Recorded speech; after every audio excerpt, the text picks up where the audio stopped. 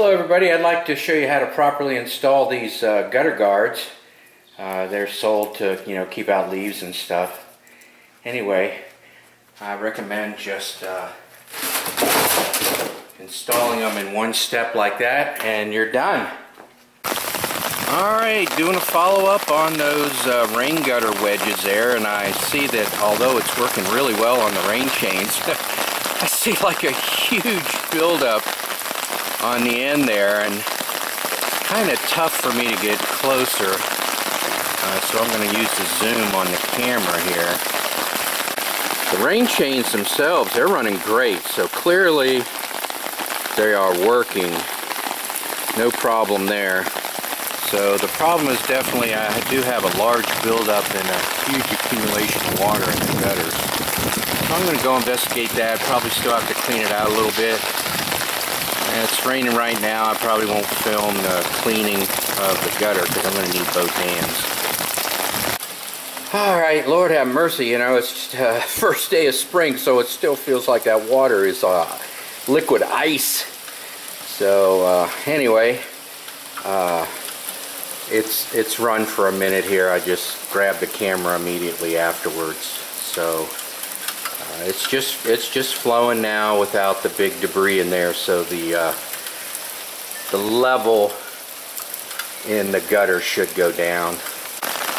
Alright I still see a big pile of water so I'm gonna have to get up in there and see what's going on. Alright once it quits raining I'll go up there and film some more but uh, all the debris is basically you know underneath the wedge so it's it's it's kind of built up a little dam there where the wedge comes down into the bottom of the uh, uh, gutter there. So I can I can show you that. There so there's a bunch of debris on top of the rain barrel uh, where I lifted up the wedge and let it run out and that kind of that stuff kind of spilled out. Uh, so uh, so for the ones I can't see, uh, I don't know if I'll be a little more careful. I'll wait till the rain subsides and just go up there and vacuum it out uh, like I did normally. Alright, the other side over here gives just a, get on camera, the other side over here gives a little bit better view of the debris as they clog up the end.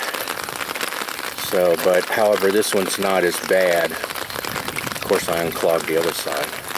But it's those damn pine needles. Anyway, they're, they're always the worst.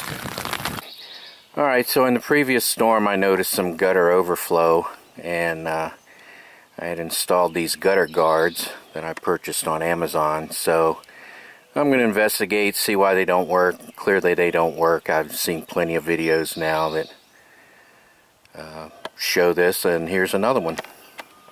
Alright, so here we are up on the roof looking at the gutter guards and as you can see they definitely keep the debris from going down the gutter and I think I'm gonna just let them go down the gutter.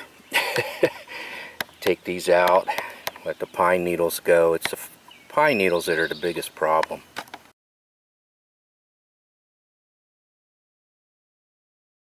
Alright, well there it is. As you can see, the leaves just pile up. So it's really just a dam is what it is. So instead of just uh, keeping the leaves out of the drain, which it does, clearly, you know, it just kind of uh, causes a dam. So they aren't worth the crap.